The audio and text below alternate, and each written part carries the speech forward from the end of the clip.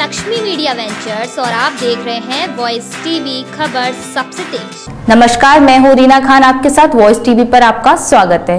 सौ सैया अस्पताल में मृत पैदा हुआ बच्चा। परिजनों ने किया हंगामा।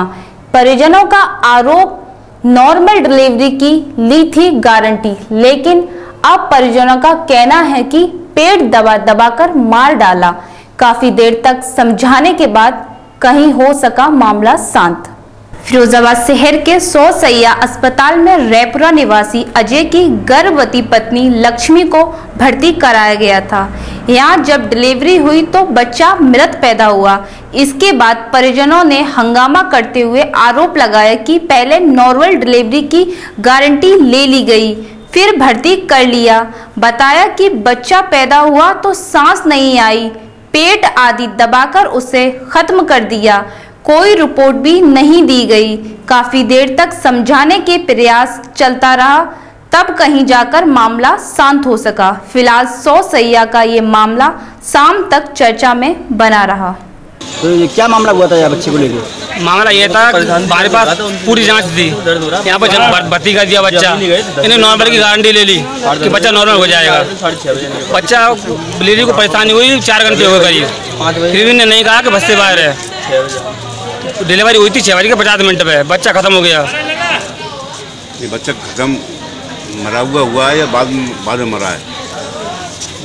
बच्चा पैदा हो गया तो बच्चे में सांस नहीं आई है। मतलब इन्हें पैदा करते हुए पैदा करते पेट पेट दबा के बच्चा खत्म हो कर दिया। क्या नाम क्या तुम्हारी पत्नी? पत्नी है तुम्हारी लक्ष्मी। तुम्हारा नाम क्या है? अजय। और कहा है कि उसमें ब्लड नहीं है ब्लड पूरा था नो पॉइंट ब्लड है। ये बता रही है कि ब्लड उसमें था ही नहीं। से कोई बच्चे नहीं है सब जाँच थी और जाँच की मना कर रही है जाँच जबकि पूरी बिना जैन के हाथ की पूरी जाँच है। हमने ये भी कहा था डॉक्टर नी से अगर तो आप नहीं कर पा रही हैं तो बता देना हम वहीं ले जाएँगे। नहीं नॉर्मल हो जाएगा पेट दबा दबा के बच्चे को मार दिया। मना कर देते कहीं भी ले जाते ना तो मना किया जब बच्चा मरा हुआ पैदा कर दिया बाद में कह रही है कि मरा हुआ पैदा हुआ बच्चा ज़िंदा था जब जब मैंने देखा था। क्या नाम है आपका? विजय छोटा भाई मैं बड़ा भाई हूँ इनका। New Akash eye care and physiotherapy centre घर पर मरीज़ देखने की सुविधा। क्या आप निम्न बीमारियों से परेशान हैं?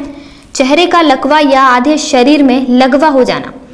गर्दन का दर्द या चक्कर आना कंधे का दर्द या जाम हो जाना कमर दर्द या पैरों का सुन्न होना घुटने का दर्द या सूजन होना या टेढ़ा मेढ़ा चलना एड़ी का दर्द या हड्डी का बढ़ना हड्डी के ऑपरेशन के बाद की समस्याएँ, नज़र व धूप के चश्मे बनाए जाते हैं।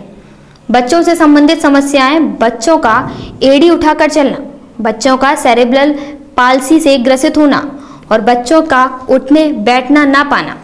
डॉक्टर एस के Akash, consultant, physiotherapist, Maa Kaila Devi hospital. Mobile number eight two one nine double one two three five zero.